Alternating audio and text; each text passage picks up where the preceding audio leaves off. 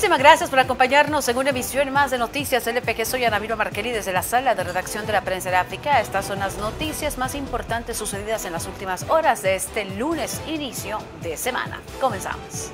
La mañana de este lunes 23, el fiscal general Raúl Melara llegó a la Asamblea Legislativa para presentar un pliego de reformas a la ley orgánica de la institución, el cual fue apoyado por las diferentes fracciones partidarias del Parlamento el proyecto de ley orgánica de la Fiscalía General de la República. Eh, es importante hacer ver que toda legislación necesita modernización y actualización. Y la ley de la Fiscalía General no es ajeno a esto. Y es por eso que estamos presentando un nuevo proyecto de ley que permita eh, garantizar, entre otras cosas, mejores competencias, mayor rendición de cuentas, procesos disciplinarios eh, que sean totalmente independientes y eh, otros aspectos que le puedan garantizar autonomía presupuestaria de la Fiscalía, así como la creación de un cuerpo de investigación propio de la entidad. La diputada de la fracción del FMLN, Cristina Cornejo, quien acompañó la propuesta de la Fiscalía, dijo que este nuevo cuerpo de investigación se denominará Cuerpo Técnico de Investigación Criminal y aseguró que este se da debido a la pérdida de confianza en la Policía Nacional Civil.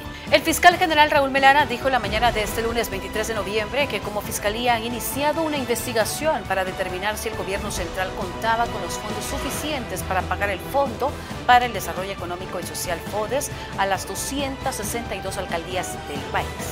El día viernes recibimos un aviso por parte del presidente de la Corte de Cuentas en el cual se hacen algún tipo de observaciones precisamente a la asignación de fondos eh, para el FODES.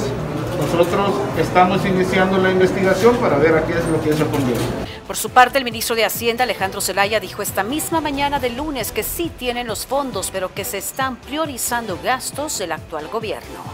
La ministra de Educación, Carla Jananía de Varela, dijo este 23 de noviembre que el Ministerio de Educación se está preparando para el inicio de las actividades escolares 2021, pero aclaró que los padres de familia no están obligados a enviar a sus hijos a las clases presenciales.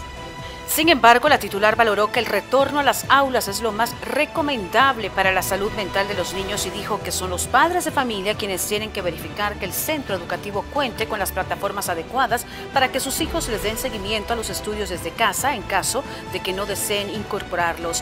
Reiteró que las instituciones educativas mantendrán las modalidades presencial, semipresencial y virtual para que los estudiantes accedan a los contenidos según más les convenga. Y Eric Salguero, presidente del Partido Alianza Republicana Nacionalista Arena, dijo que asumirá un proceso de renovación en el que se compromete a que las formas de hacer políticas vayan acorde a las necesidades populares. El presidente del COENA describió en 10 puntos la visión del partido entre las que se mencionó un posicionamiento de cero tolerancia a la corrupción y a la misma vez pidió perdón porque exmiembros del partido se sirvieron de sus cargos para traicionar a El Salvador. Fue un gusto haberles acompañado en una emisión más de Noticias LPG. Recuerde que El Salvador aún continúa en la lucha contra el coronavirus, por lo que le pedimos que acate todas las recomendaciones. Soy Ana Vilma Markelli y regreso mañana para compartirles más información. Hasta pronto.